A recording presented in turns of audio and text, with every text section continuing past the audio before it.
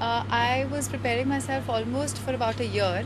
I've been modeling in Delhi for about a year and a half, and uh, after modeling, I wanted to increase my visibility. I wanted to increase um, the amount people knew me. I wanted people, more and more people, to know me for my beauty, for my talent, and I felt Miss India was the correct platform for that. Also, when I was little, um, I I used to take part in smaller pageants. Then I I went on to win a pageant in 2007. So after winning that, after wearing one crown, I wanted to go ahead and wear another crown, and I saw Miss India as uh, doing that for me. I've been working on myself for about a year, and uh, that required a lot of um, uh, mental preparation, physical preparation. I was working out on my body. Um, and also on my skills in terms of how I communicate, how I get my ideas across to people. Um, plus, after that, during a 30 day training period that we had in Mumbai, there were so many other things.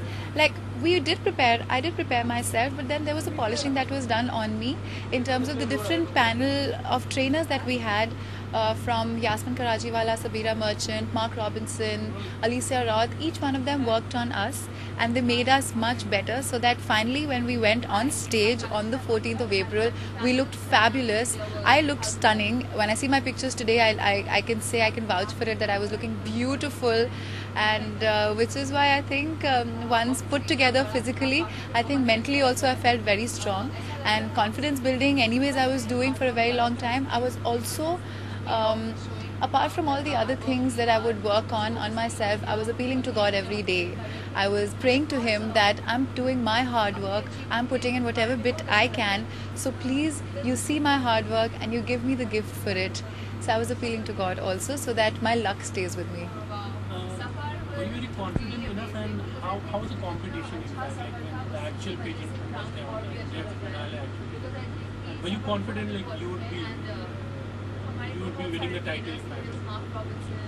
um, because I knew that I was working on myself in every way, I was confident that I will be able to win the crown. I will be finally in the final three.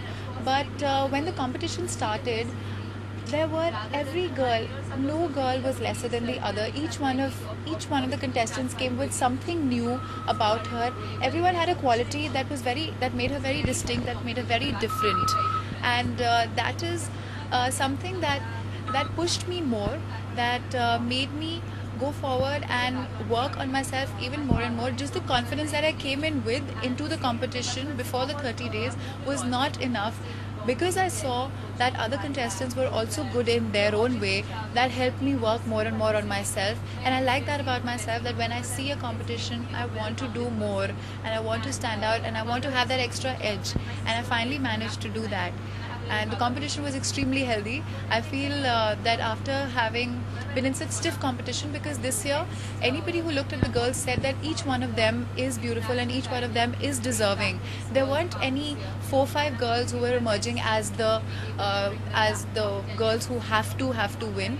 Everybody for every crown there were at least four to five uh, contenders who were very strong, and to be able to come out of that as a winner is very satisfying and fulfilling for me because I was a part of a very healthy competition and I was I proved myself amongst all of that.